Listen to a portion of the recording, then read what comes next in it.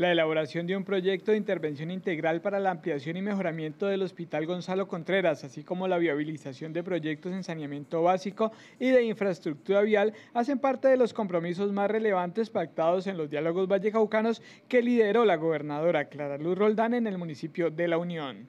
Muy agradecida y muy contenta eh, con esta noticia porque eh, pues es una necesidad que tenemos como institución de generar un proyecto macro eh, y en un marco de un hospital seguro que nos permita por fases ir haciendo unas intervenciones y no solamente un planteamiento a, a tres años que nos quedan de eh, este periodo, sino también a años posteriores donde tengamos de una manera muy organizada el crecimiento institucional.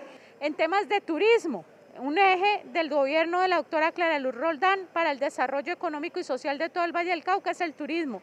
Se han planteado proyectos grandes como el Boulevard de la Uva y algunos temas que serán objeto de estudio y de mirar las opciones para este importante municipio.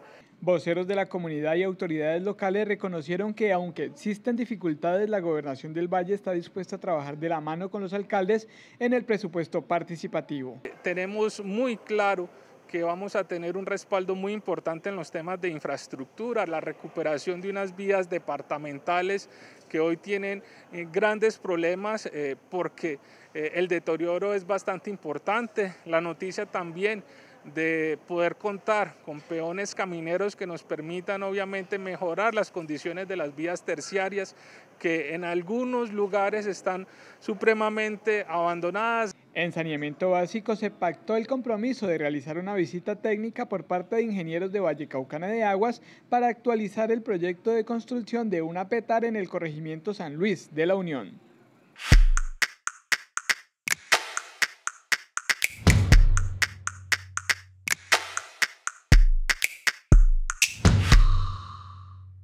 Hola a todos, hoy en Agenda 52 venimos recargados de eventos y actividades para disfrutar esta semana con amigos y familiares. Así es, Jerry, también les contaremos algunos aspectos turísticos del municipio de La Cumbre, ubicado en la parte alta del departamento, y que se convierte en un lugar ideal para descansar y disfrutar de su belleza geográfica. Veamos. Llegar al municipio de La Cumbre es disfrutar de sus coloridos paisajes y observar desde un balcón las viejas montañas vallecaucanas de este tranquilo territorio. Las antiguas viviendas con sus techos de teja de barro cuentan la historia de este pueblo que se destaca por ser un lugar en el que se convergen las buenas tradiciones y una calidad de vida entre los cumbreños. La cumbre celebra las fiestas de las flores tropicales en el mes de agosto, siendo una de sus principales atractivos como las exposiciones y desfiles de liconias, anturios y orquídeas, entre otras especies propias del clima local. Y entre sus deliciosos platos típicos están las empanadas de queso, el cumis, el arroz de leche y las panelitas de leche. Ubicado a tan solo 20 kilómetros de Cali, te invitamos a que recorras las chorreras de las Brujitas, donde encontrarás senderos y cascadas cristalinas. Ven a disfrutar con todos los protocolos de bioseguridad a este tranquilo lugar. Y para los amantes del arte, la danza y la cultura, llega una invitación muy especial para todos los vallecaucanos. ¿De qué se trata? Veamos. Conéctate este jueves 19 de noviembre porque llega a las tertulias musicales el maestro Vladimir Carrasco de Chile. Intérprete de la guitarra e instrumentos antiguos como el laúd y la vihuela, a través del Facebook Live de Bellas Artes a las 7 pm para contarnos sobre su repertorio musical y carrera artística. Este 20 y 21 de noviembre las familias vallecaucanas podrán disfrutar del repertorio de las compañías profesionales de Incol Ballet.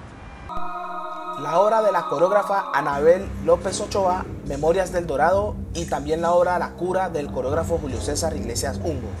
Ambas serán escenario que nos transportarán a los pensamientos de estos creadores de la danza.